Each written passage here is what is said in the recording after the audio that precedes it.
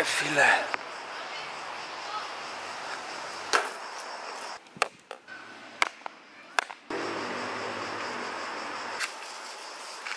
Όλα ξεκίνησαν όταν οι Κινέζοι μου είπαν ότι θέλουν να μου στείλουν ένα ανθεκτικό κινητό για παρουσίαση. Μμμ, έχω μια ιδέα. Και καταρχάς να πω ότι το κινητό στο οποίο αναφέρομαι είναι το Doogee S40 Lite. Και ναι, το ξέρω, το Doogee ακούγεται σαν να είναι ιρανικό ελικόπτερο, αλλά όχι. Είναι κινητό. Και επειδή είναι κινητό, αποφάσισα να το βάλουμε. Σιγά! Σιγά! Ακόμα δεν ξεκινήσαμε. Αποφάσισα να το βάλω μέσα στο νερό και να το παγώσω. Καταρχάς, ο κατασκευαστής μας λέει ότι το κινητό αντέχει μέχρι και 24 ώρες κάτω από ένα μέτρο νερό χωρίς να πάθει τίποτα. Όπως επίσης μπορεί να λειτουργεί σε πάρα πολύ χαμηλές θερμοκρασίες μέχρι και σε μείον 20 βαθμούς Κελσίου. Και πριν τα κάνω όλα αυτά, το είχα φορτίσει ώστε όταν θα το βάλω μέσα στην κατάψυξη να είναι εν λειτουργία. Και την επόμενη μέρα τι να δω. Πάγωσε. Έβαλα και πολύ νερό. Θέλω να δω πώς θα το σπάσω τώρα.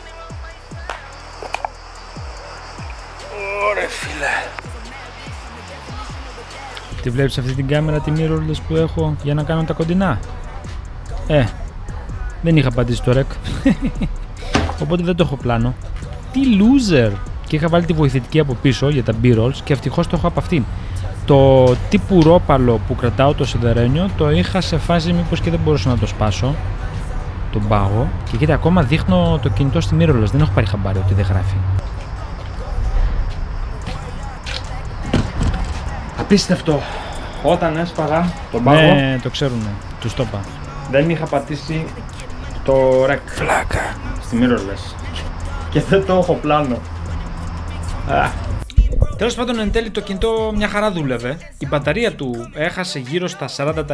Έχω την εντύπωση ότι έχει να κάνει με τη θερμοκρασία που ήταν πάρα πολύ χαμηλή. Αλλά το κινητό δούλευε. Μέχρι τότε τουλάχιστον. Ήταν μια χαρά. Μετά το σκούμπισα, το δοκίμασα, ήταν καινούριο. Το επόμενο που ήθελα να δοκιμάσω είναι οι πολύ υψηλές θερμοκρασίες. Η Doogee, Doogee, Doogie, like whatever. Μας λέει ότι το κινητό μπορεί να αντέξει μέχρι και 3 ώρες στους 60 βαθμούς Κελσίου. Είναι σε φάση μήπως πάσει σε καμιά έρημο κτλ.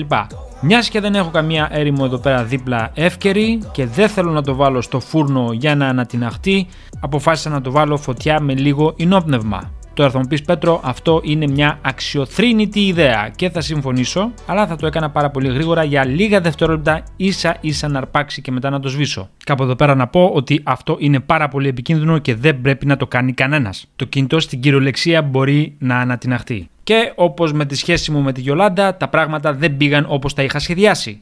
Δυστυχώς πρέπει να σταματήσω τα γυρίσματα γιατί υπάρχει ένα θέμα. Και το θέμα αυτό είναι ότι το κινητό σταμάτησε να δουλεύει. Έχω την εντύπωση ότι πήρε νερό, δηλαδή από τη φωτιά, την τελευταία που του έβαλα, ανοίξανε λίγο εδώ αριστερά και δεξιά και πήρε λίγο υγρασία γιατί ήταν λίγο βρεγμένο, είχε δηλαδή στις εσοχές λίγο πάγο, ο οποίος έλειωσε, έγινε νερό και ποτίστηκε.